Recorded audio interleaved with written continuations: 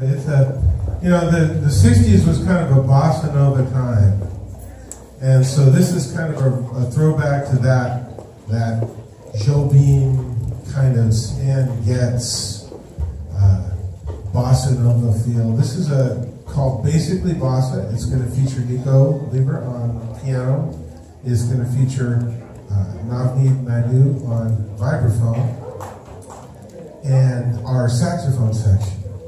This is basically bossa.